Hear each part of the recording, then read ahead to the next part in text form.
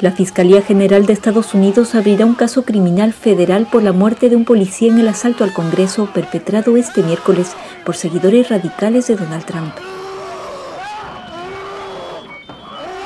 El agente del Capitolio, Brian Sicknick, fue una de las cinco víctimas mortales del asalto que intentaba interrumpir la validación de Joe Biden como presidente de Estados Unidos.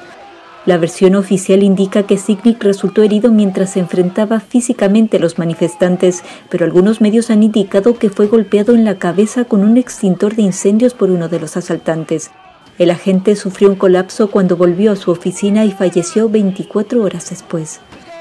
La muerte está siendo investigada por varias instituciones policiales y hoy el Capitolio se ha mostrado así, banderas a media asta en recuerdo del oficial caído.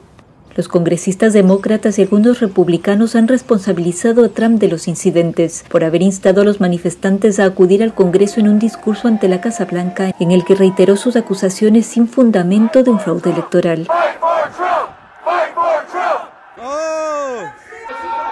Además de Signic, que servía en el Capitolio desde 2008, en los incidentes fallecieron cuatro manifestantes, dos mujeres de 34 y 35 años y dos hombres de 50 y 55 años. Según la policía, los agentes fueron atacados activamente con tubos de metal y otras armas y se produjeron tiroteos.